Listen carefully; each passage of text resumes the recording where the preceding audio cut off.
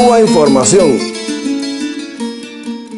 No me digan más mentiroso, no me digan más.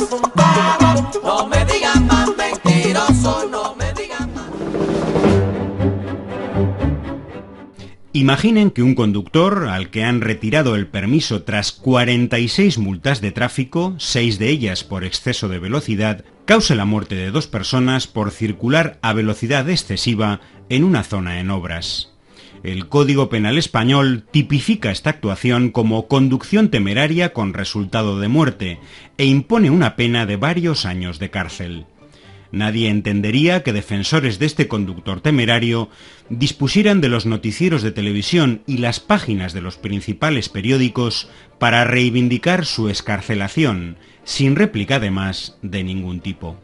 Sin embargo, si esta persona es un dirigente de las juventudes del Partido Popular Español, el delito lo ha cometido en una carretera de Cuba, y las víctimas accidentales son dos colaboradores políticos en la isla del Partido Popular Europeo, es decir, dos disidentes cubanos, la cosa cambia.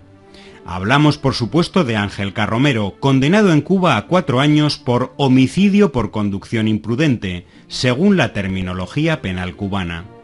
Tras apenas cinco meses en una prisión de la isla y gracias a la aplicación en tiempo récord del convenio bilateral de ejecución de penas entre Cuba y España, ya se encuentra en una cárcel española cumpliendo en principio el resto de su condena. Los grandes medios dan por hecho, sin el menor cuestionamiento de la clarísima impunidad jurídica que implica, que Ángel Carromero accederá en breve al tercer grado y que en un plazo también corto será indultado por el gobierno español dirigentes del Partido Popular han copado los medios presentando el caso como un éxito diplomático del Ejecutivo de Madrid. Como contraste, recordemos que existen 2.440 personas de nacionalidad española presas en otros países, muchas con delitos de menor gravedad que el de Ángel Carromero, que llevan años esperando alguna gestión de la diplomacia española. Durante la negociación entre los gobiernos de Cuba y España, los dirigentes de la derecha española mantuvieron una obligada prudencia en sus declaraciones públicas. Sin embargo, conseguida la llegada de Carromero a España, la presidenta del Partido Popular de Madrid, Esperanza Aguirre, abría la espita de los insultos y las amenazas contra el gobierno cubano.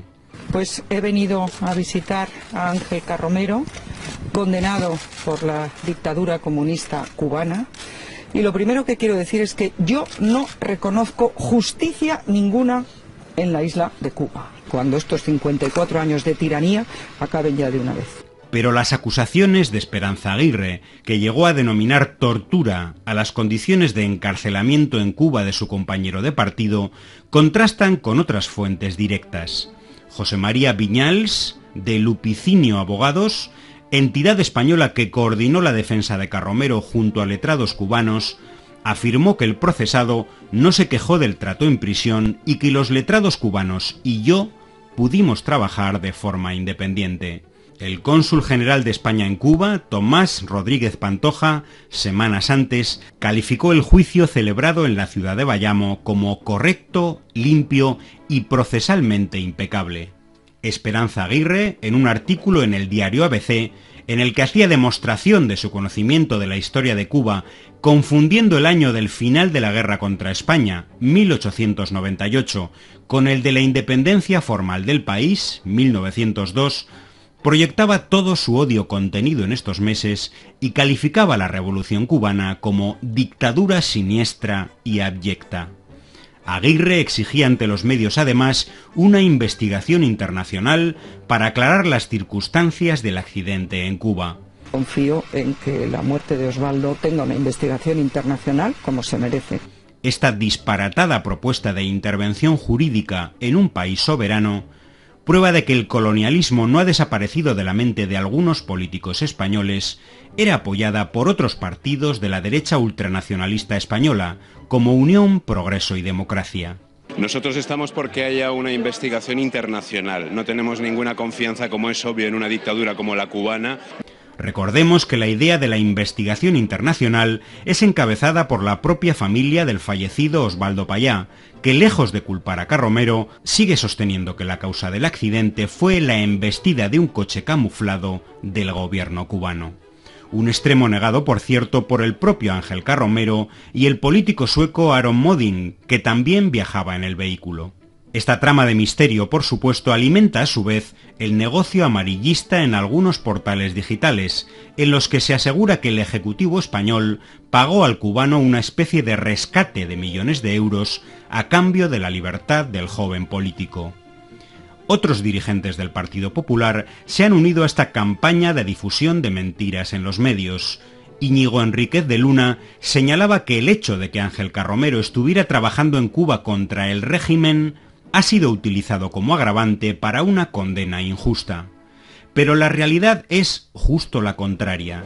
La Fiscalía cubana solo presentó cargos contra el español por conducción imprudente.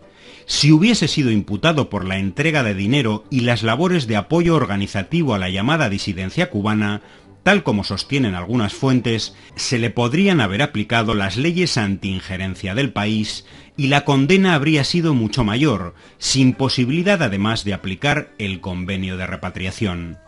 Así es como el sistema mediático español sigue dando amparo y espacio propagandístico a los actores de un escandaloso caso de impunidad jurídica y privilegio diplomático, una prueba más del rumbo de decadencia política y moral del régimen español. Mentiroso.